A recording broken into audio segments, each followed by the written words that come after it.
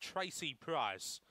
These runners are coming forward now. This is the Tankman Open feature over 600 metres. Light on, set to run. Race number four, Mount Gambier.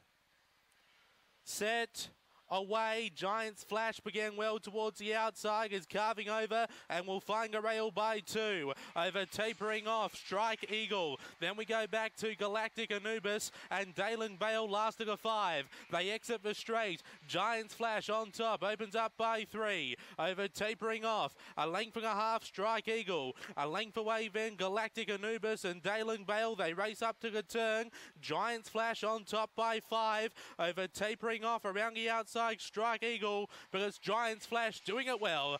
Giants Flash, too good. Second along the inside will be Galactic Anubis. Now third was either Strike Eagle or tapering off, and back at the tail was Dalen Bale. That time around 34 and 70. We may have another new track record here. Stand by.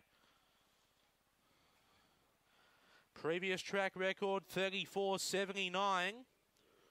We may have another one, two races in a row. We're waiting on confirmation. 886, 2152 early.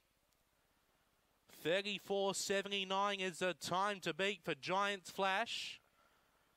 34.7 in the frame. We're just waiting on that last number to appear. Has he done it?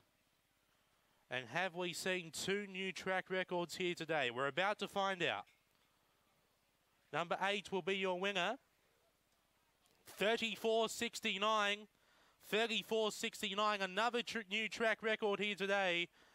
Uh, Giants Flash over the 600 metres has broken that previous record of 34.79. So 34.69 for Giants Flash who now holds the 600 metre track record here, along with the 512 metre track record of 29.19. So he's been a super dog so far for Tracy Price, and he's now broken two track records here at Mount Gambier.